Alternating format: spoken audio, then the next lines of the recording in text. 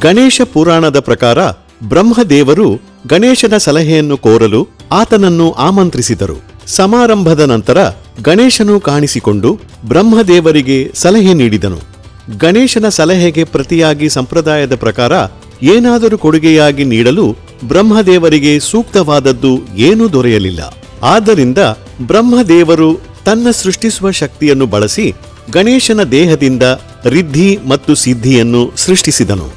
ರಿದ್ಧಿಯು ಸಂಪತ್ತು ಮತ್ತು ಸಮೃದ್ಧಿಯನ್ನು ಸೂಚಿಸುತ್ತದೆ ಮತ್ತು ಸಿದ್ಧಿಯು ಆಧ್ಯಾತ್ಮಿಕ ಪರಿಣತಿಯನ್ನು ಸೂಚಿಸುತ್ತದೆ. ರಿದ್ಧಿ ಮತ್ತು ಸಿದ್ಧಿ ಇಬ್ಬರನ್ನೂ ಇಲ್ಲಿ ಚಿತ್ರಿಸಲಾಗಿದೆ ಮತ್ತು ಇಬ್ಬರು ಗಣೇಶನ ಪಕ್ಕದಲ್ಲಿ ಕುಳಿತಿದ್ದಾರೆ.